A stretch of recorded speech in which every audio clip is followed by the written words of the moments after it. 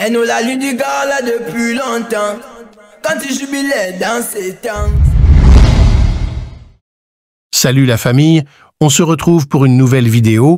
Avant de commencer, n'oublie pas de t'abonner et de partager la vidéo. Allô police, le pays a changé de ligne. Les petits vénèrent toujours le bandit.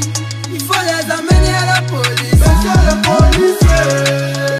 La musique gabonaise évolue et chaque jour, des nouvelles stars voient le jour.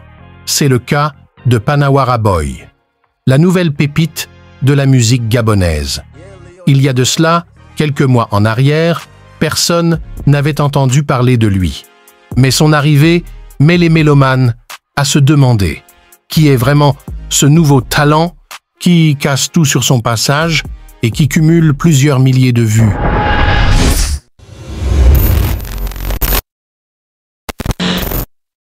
Panawara Boy est un jeune artiste qui s'est fait connaître en 2023 précisément par son célèbre titre Love d'un voyou.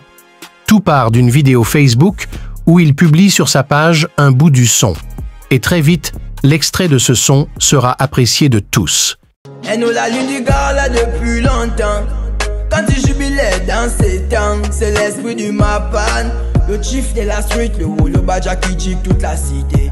Love d'un voyou a connu un succès fulgurant et Panawara lui aussi. Une chose qui démarque Panawara Boy des autres artistes, c'est que comparé aux autres, lui, il dénonce les faits de la société, tels que le banditisme, le vol et plusieurs fléaux qui frappent le pays.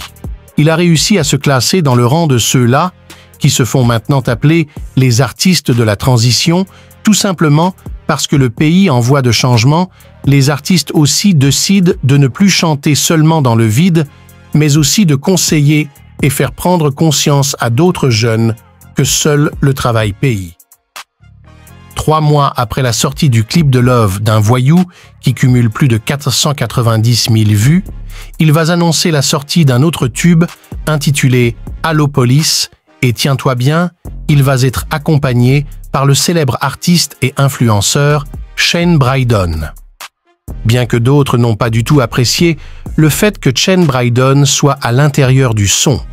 Cela s'est fait et c'est une très belle collaboration. Panawara Boy est très talentueux, il est la voix de sans voix. Il mérite plus de soutien et plus de force. Alors si tu trouves qu'il mérite une grosse place au sein de la musique gabonaise, laisse ton avis en commentaire. Sur ce, on se dit à bientôt pour une nouvelle vidéo.